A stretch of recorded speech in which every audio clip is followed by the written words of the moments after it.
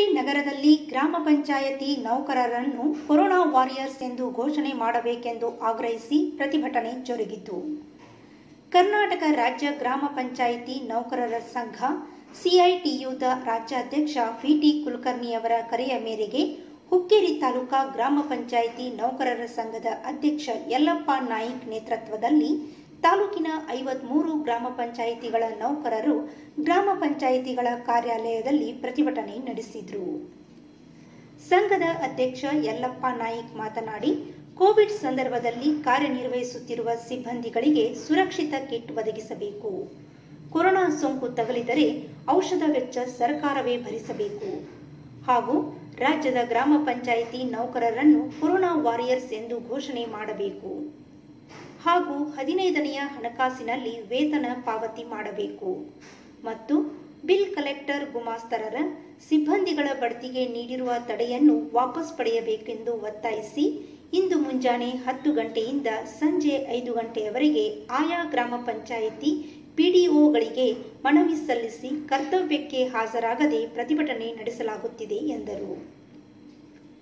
ನೌಕರ ರಾಜು ಹುದ್ದಾರ್ ಮಾತನಾಡಿ ನಮ್ಮ ಬೇಡಿಕೆಗಳನ್ನು ಸರ್ಕಾರಕ್ಕೆ ಹಲವಾರು ಬಾರಿ ಮನವಿ ಸಲ್ಲಿಸಿದ್ದೇವೆ. ಆದರೆ ನಮ್ಮ ಬೇಡಿಕೆಗೆ ಸರ್ಕಾರ ಸಮ್ಮತಿ ನೀಡಿಲ್ಲ. ಬೆಳಗಾವಿ ಜಿಲ್ಲೆಯ ಗ್ರಾಮ ಪಂಚಾಯಿತಿಯ ಎಂಬತ್ತು ಜನ ನೌಕರರಿಗೆ ಕೊರೋನಾ ಸೋಂಕು ತಗುಲಿ ಚಿಕಿತ್ಸೆ ಪಡೆಯುತ್ತಿದ್ದಾರೆ. ಅವರ ಆಸ್ಪತ್ರೆ ವೆಚ್ಚವನ್ನು ಸರ್ಕಾರವೇ ಭರಿಸಬೇಕು. ಇದರಂತೆ ಇನ್ನುಳಿದ ಬೇಡಿಕೆಗಳನ್ನು ಕೂಡಲೇ ನೆರವೇರಿಸಬೇಕು. ಇಲ್ಲವಾದರೆ ಮುಂದಿನ ದಿನಗಳಲ್ಲಿ ರಾಜ್ಯಾದ್ಯಂತ ಉಗ್ರ ಹೋರಾಟ ಮಾಡಲಾಗುವುದು ಎಂದು ಆಗ್ರಹಿಸಿದರು. ಈ ಸಂದರ್ಭದಲ್ಲಿ ವಿವಿಧ ಗ್ರಾಮ ಪಂಚಾಯಿತಿ ನೌಕರರಾದ ಯಲ್ಲಪ್ಪ ಕಾಂಬ್ಳೆ, ಸುರೇಶ್ ತಳವಾರ್ ಬಸವರಾಜ್ ಕೋಣಿಕೇರಿ ಸಂಜೀವ್ ಪಾಂಡವ್ ಮನವಿಯನ್ನು ಸಲ್ಲಿಸಿದ್ವಿ ಕೊರೋನಾ ವಾರಿಯರ್ಸ್ ಅಂತ ಘೋಷಣೆ ಮಾಡಬೇಕಲ್ಲಿ ಆದರೂ ಕೂಡ ಇಲ್ಲಿವರೆಗೆ ಮಾಡಿಲ್ಲ.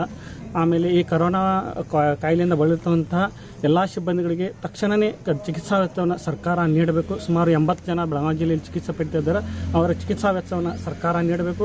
ಅದೇ ರೀತಿ ಬಹಳಷ್ಟು ಗ್ರಾಮ ಪಂಚಾಯತ್ ಸಿಬ್ಬಂದಿಗಳು ವೇತನ ಆಗ್ತಾ ಇಲ್ಲ. ಹದಿನೈದನೇ ಹಣಕಾಸು ಯೋಜನೆಯಲ್ಲಿ ಅವರಿಗೆ ತಕ್ಷಣ ವೇತನ ಪಾವತಿ ಮಾಡುವಂತೆ ಕ್ರಮ ಕೈಗೊಳ್ಳಬೇಕು.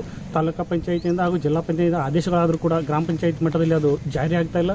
ಅದರ ಬಗ್ಗೆ ವಿಶೇಷ ಕಾಳಜಿ ವಹಿಸಿ ಅದನ್ನು ಜಾರಿ ಮಾಡಿ ಸಿಬ್ಬಂದಿಗಳಿಗೆ ಅನುಕೂಲ ಮಾಡಿಕೊಡಬೇಕು. ಹಾಗೂ ಕಾರ್ಯದರ್ಶಿ ಮತ್ತು ದ್ವಿತೀಯ ದರ್ಜೆ ಲೆಕ್ಕ ಸಹಾಯಕ ಉದ್ಯೋಗಿಗೆ ತಕ್ಷಣ ಬಡ್ತಿ ನೀಡಬೇಕು. ವಿವಿಧ ಇಲಾಖೆಗಳಲ್ಲಿ ಸರ್ಕಾರ ಬಡ್ತಿ ಮಾಡ್ತಾ ಇದ್ರು ಕೂಡ ನಮ್ಮ ಗ್ರಾಮ ಪಂಚಾಯಿತಿ ಸಿಬ್ಬಂದಿಗಳನ್ನ ಮಲತಾಯಿ ಧೋರಣೆಯಂತೆ ನೋಡ್ತಾ ಇದೆ. ಇಲ್ಲಿ ಬಡ್ತಿ ನೀಡ್ತಾ ಇಲ್ಲ. ಕಾರಣ ಸುಮಾರು ಹದಿನೈದು, ಇಪ್ಪತ್ತು ವರ್ಷಗಳಿಂದ ಕಾರ್ಯನಿರ್ವಹಿಸ್ತಿರುವಂತಹ ಸಿಬ್ಬಂದಿಗಳಿಗೆ ಸಾಕಷ್ಟು ತೊಂದರೆ ಆಗ್ತಾ ಇದೆ. ಅವರು ಕರ್ನಾಟಕ ರಾಜ್ಯಾದ್ಯಂತ ಎಲ್ಲ ಗ್ರಾಮ ಪಂಚಾಯಿತಿಗಳ ಮುಂದೆ ಇವತ್ತು ಹೋರಾಟವನ್ನು ನಾವು ಮಾಡ್ತಾ ಇದ್ದೀವಿ. ಹೋರಾಟ ಮಾಡುವ ಉದ್ದೇಶ ಹದಿನೈದನೇ ಹಣಕಾಸಿನಲ್ಲಿ ಸರ್ಕಾರ ನಿಗದಿಪಡಿಸಿದಂಥ ವೇತನ ಗ್ರಾಮ ಪಂಚಾಯಿತಿಗಳಲ್ಲಿ ಕೊಡ್ತಾ ಇಲ್ಲ. ಮತ್ತು ಈ ಬಡ್ತಿ ವಿಷಯಕ್ಕೆ ಸಂಬಂಧಪಟ್ಟು ಬಡ್ತಿ ವಿಷಯನೂ ಕೂಡ ಸರ್ಕಾರ ಆದೇಶ ಮಾಡಿದರೂ ಕೂಡ ಬಡ್ತಿಯನ್ನು ಗ್ರಾಮ ಪಂಚಾಯತಿ ಕ್ಲರ್ಕ್ಗಳಿಗೆ ಕೊಡ್ತಾ ಇಲ್ಲ. ಮತ್ತು ಈ ಕೊರೋನಾ ವಾರಿಯರ್ಸ್ ಆಗಿ ನಾವೆಲ್ಲ ಗ್ರಾಮ ಪಂಚಾಯಿತಿ ಸಿಬ್ಬಂದಿಗಳು ಕೆಲಸವನ್ನು ಗ್ರಾಮ ಪಂಚಾಯಿತಿ ಮಟ್ಟದಲ್ಲಿ ಮಾಡ್ತಾ ಇದೀವಿ. ಆದರೆ ನಮ್ಮ ಸರ್ಕಾರ ಇದುವರೆಗೂ ಗ್ರಾಮ ಪಂಚಾಯಿತಿ ವಾರಿಯರ್ಸ್ ಅಂತ ನಮ್ಮನ್ನ ಆದೇಶ ಮಾಡಿಲ್ಲ.